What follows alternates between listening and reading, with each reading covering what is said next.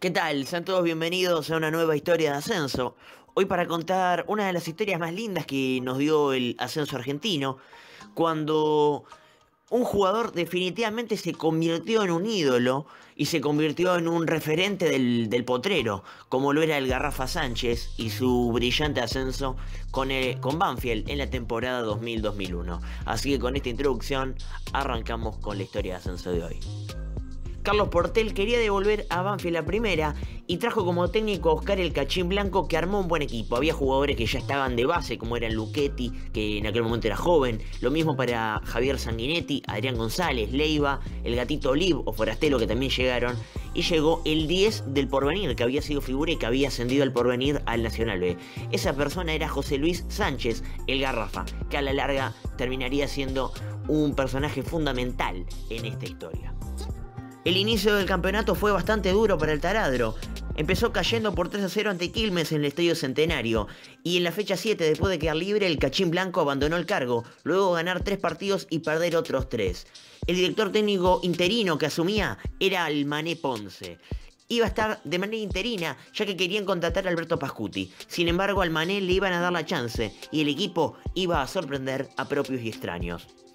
La llegada del Mané al banco iba a producir un cambio virulento e histórico en el equipo, ya que el taladro no volvería a caer en todo lo que restaba del campeonato.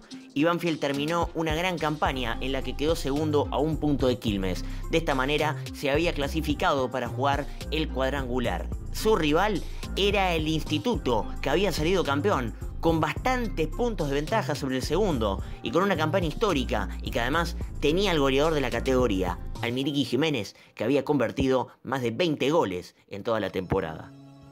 La ida en el sur fue empate 2 a 2 y la vuelta en Alta Córdoba fue triunfo 2 a 1 para el taladro el Garrafa Sánchez sobre la hora y de penal estampó el gol que le daba la clasificación al taladro para la gran final, final que tenía que jugar nada más y nada menos que ante uno de sus clásicos rivales, Quilmes, que justamente había sido el campeón de la zona metropolitana. La ida se disputó en el Florencio Sola, un Florencio Sola que estaba repleto de hinchas de Banfield y de hinchas de Quilmes. Banfield buscaba retornar a la primera división, categoría en la que no jugaba desde 1996 y que había descendido. Enfrente tenía un durísimo rival, el Quilmes del Chulo Riboira, que había hecho una gran campaña y una gran inversión. Sin embargo, todavía tenía el gran karma de las finales perdidas. Luchetti es el arquero, tres en el fondo, González, Sanguinetti y Raposo. Por la izquierda, Santa Cruz por la derecha, Leiva del Río un poco más adelantado, Jiménez por la izquierda, el enganche que es Sánchez con Liv y Forestelo. Mané Ponce, el técnico de este equipo, que será el arquero, cuatro en el fondo, Trujet, Alayes y Pajés. Y por la izquierda Clemens. Por la derecha Braña, en la mitad de la cancha, Seferino Díaz, el Bizá, el brasileño, Gian Pietri, el Chori Domínguez y Gabriel Bordi, autor de los 15 tantos, de 15 tantos Baldassi pitó y arrancaba la gran final por el ascenso a la primera división del fútbol argentino. Y Banfield iba a demostrar por qué era tan fuerte de local desde los primeros minutos del partido, ya que de un lateral y una gran jugada del Garrafa Sánchez vino el 1 a 0, que lo metió Carlos el Gatito Oliv. Y un ratito más tarde, después de otro lateral, el Garrafa Sánchez iba a recibir la pelota, iba a meter un gran centro a la cabeza de Forastelo, que en el primer tiempo ponía el 2 a 0 y parecía que Banfield empezaba a liquidar el partido y la serie en el primer tiempo y de local. Sin embargo, en el segundo tiempo, los del Chulo Riboira iban a reaccionar con un gran gol de tiro libre de Fernando Clemens, su arma letal, que Quilmes utilizaba realmente muy bien. Las jugadas preparadas, indirectas o directas, con grandes cañonazos que salían de la pierna del zurdo lateral. Sin embargo, Banfield logró seguir controlando el partido y neutralizando a Quilmes. Y es más, podría inclusive haber metido más goles y haber agrandado la ventaja. Sin embargo, Elizaga estuvo muy atento. Baldassi pitó el final y el partido de ida era para el taladro. 2 a 1 y había que ir a defender la ventaja al estadio de Quilmes. El partido de vuelta en Quilmes se jugaba el 20 de mayo de 2001 al casual horario de las 11 de la mañana en un estadio centenario repleto. Quilmes buscaba volver a primera de local, pero tenía que remontar el partido ante Banfield, que también había llevado su buena cantidad de público al estadio de Quilmes, que solamente tenía que aguantar el 2 a 1 de la ida para volver a primera. Elizaga 4 en el fondo, Massina, Alayes, Schiavi que reaparece y Pajés. En la mitad de la cancha, Braña por la derecha, por el medio base Felino Díaz y por la izquierda el brasileño Elvisa. Jean Pietri más adelante con los delanteros, el Chori Domínguez y Gabriel Borde. El Chulo Riboira, el técnico de este equipo, que tiene que ganar o ganar hoy para conseguir el ascenso. Y ahora sí, presentamos a Banfield, Rusito. Luchetti, tres en el fondo, González, Sanguinetti y Raposo. Cuatro en el medio, Santa Cruz por la derecha, Leiva y Pablito del Río está un poquito más adelantado con Jiménez sobre el andarivel izquierdo, Sánchez con Lib y Forestelo. Mane Ponce, este equipo, Fernando, que lleva 22 partidos invicto. Sí, señor. Ha perdido tan solo en tres ocasiones.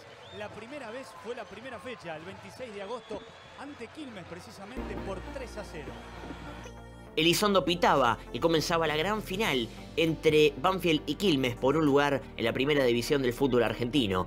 Y rápidamente, como en el partido de ida, Banfield madrugó al cervecero, esta vez con un penal cometido de Massina al Garrafa Sánchez. Penal que el Garrafa iba a ejecutar en una revancha personal ya que Lizaga le había tapado un penal en el campeonato. Garrafa pateó a la derecha de Lizaga y ponía el 1 a 0, el 3 a 1 en el global y se le complicaba al conjunto Chulo Riboira. Sin embargo, con más huevo que fútbol, iba a llegar al empate con un gol de una de sus figuras, el máquina Adrián Giampietri. Sin embargo, el máquina se iba a lesionar y esto le iba a dificultar mucho las cosas al conjunto de Riboira. Pero una desinteligencia defensiva logró que el gatito Carlos Lip vuelva a meter un gol. Ponía el 2 a 1 y se le complicaba a Quilmes sobre el final del primer tiempo iba a llegar al empate en un gol que debió haber sido anulado por offside y por falta contra el arquero Luchetti. Sin embargo, Gianpetri lesionado y todo ponía el 2 a 2. Y antes de que termine el primer tiempo iba a tener una chance más Quilmes. Esta vez un cabezazo a Layes que pasó realmente muy cerca por al lado del palo. Luego del paso por vestuarios, Brania se fue expulsado y Quilmes se quedaba con 10 en los primeros minutos del segundo tiempo. Y encima iba a nacer el tercer gol de Banfield en un tiro libre, brillantemente ejecutado por el Garrafa a la cabeza de Hernán del Río, que ponía el 3 a 2. Y final casi liquidada en la cancha de Quilmes. Y además, minutos más tarde, iba a venir el cuarto gol, con Quilmes ya completamente mal parado en defensa, buscando desesperadamente otro gol. Y una gran jugada y un gran toque y magnífico del Garrafa venía el gol de Forastelo, 4 a 2 partido liquidado y Banfield a primera. Elizondo decidía dar por finalizado el partido muchísimo tiempo antes del previsto, ya que los hinchas de Quilmes hicieron graves incidentes que obligaron a la suspensión del partido, y de esta manera el taladro volvía a primera división, después de mucha lucha y angustia, en la que la mitad del tiempo que estuvo en la categoría fue entre deudas y por malos manejos de la dirigencia, pero también estaba la otra cara de la moneda. Aparecieron los fantasmas, Hernán, más allá de que no se pudo, pero aparecen los fantasmas. No sé qué será.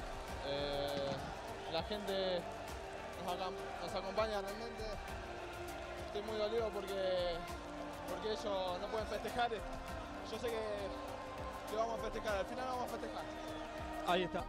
Así que bueno gente, espero que les haya gustado este video sobre el regreso de Banfield a Primera División en el 2001 de la mano de Garrafa Sánchez, que definitivamente se convirtió en un ídolo del fútbol argentino, conoció la primera división y hasta jugó la Copa Libertadores de América. Así que espero que les haya gustado el video, que dejen un like y un comentario, que se suscriban al canal, que activen la campanita para que les lleguen las notificaciones de los videos ni bien se suben, que me sigan en mis distintas redes sociales que siempre las dejo en la descripción del video. Yo soy Agustín Hirsch y nos vemos en el próximo video.